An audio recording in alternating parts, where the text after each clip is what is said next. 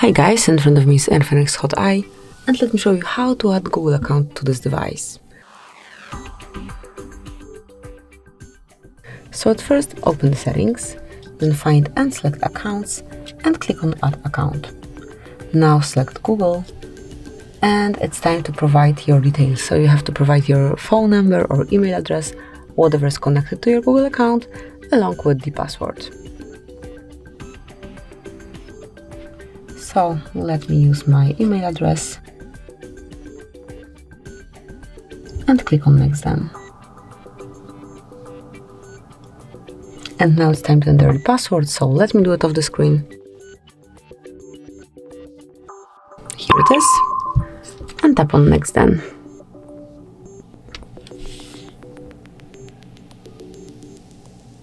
Tap on next. I agree.